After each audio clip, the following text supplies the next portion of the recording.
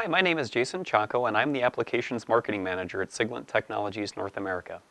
Today we're going to talk about the SDS 1004X-E series embedded web control. This is actually the first oscilloscope that Siglent's manufactured that has an onboard web control. Uh, this allows you to monitor the scope and control it from anywhere without downloading any software to your laptop or PC.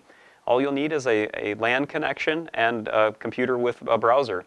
Um, you can either run this connecting directly to a, the LAN with a, with a cable, or we can, uh, we can also update it with the LAN or the Wi-Fi option.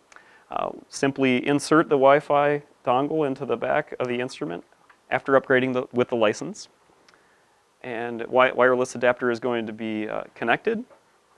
And now we're going to go into the utility menu. We're going to go down to the I.O which is going to give us all of the control over the various uh, inputs that we have to control the instrument. And that interface is default set to LAN. We're going to change that to wireless LAN. And now we want to set up the Wi-Fi. Once we do that, in this case this has been pre-configured, but we'll enable the Wi-Fi and then you can do a manual scan and that will show you all of the available networks that you can connect to and you can use this key to then select, or this knob to then select that particular value. Uh, then we're going to enter the SSID or the information for that particular network and then the password. Once we do that, we'll hit the connect key and you'll see that we have a nice Wi-Fi connection here and the instrument will let you know that everything has been configured. The second step that we're going to do is connect uh, to the IP, or, or we're going to need an IP address. So we hit IP address. DHCP is typically off in the default configuration. We want to enable that and that's going to go out on the network and enable the network to assign an IP address. Once that is assigned, you'll see we have the IP address, the subnet mask, gateway, and MAC address. We're just going to write down the MAC or the IP address here, uh, 192.168.1.177. We're going to save that information on a piece of paper, and we're going to immediately jump over to our laptop to take a look at the web control interface.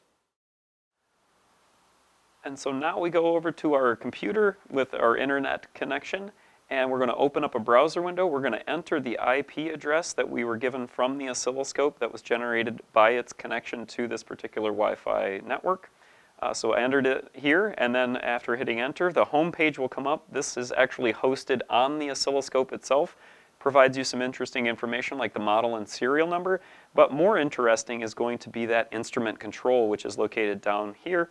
Uh, once we click on the instrument control, that's going to open up a virtual control front panel for the oscilloscope.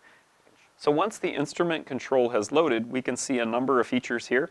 First thing to notice is that we have an actual image of the display on the oscilloscope. This can be extremely helpful if you're doing remote troubleshooting.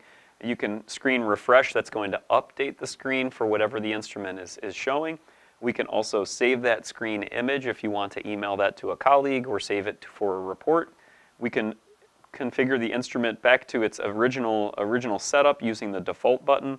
We've also have auto setup if we want to have the oscilloscope decide what input settings we need in order to capture that, uh, that input signal. You can stop and run the scope, uh, single trigger, also set the trigger levels. Uh, you can also update the oscilloscope itself with a new firmware revision remotely. Uh, here you'll see we have horizontal controls, acquisition controls, as well as all of the triggers, and each of our channels are located down here, so we can enable or disable channels as well as measurements. And I'll scroll down. Uh, we can refresh and apply any of those new settings, so we can reconfigure the oscilloscope from a distance, uh, apply those settings, and the oscilloscope will then reconfigure to those settings. So we have full control over the oscilloscope. Again, without any additional software, all we needed to do was just connect up to the internet with our computer, uh, type in the IP address, and we're all set. I hope that this video has been helpful for you. Uh, if you have any questions, please contact your local Siglent distributor or office.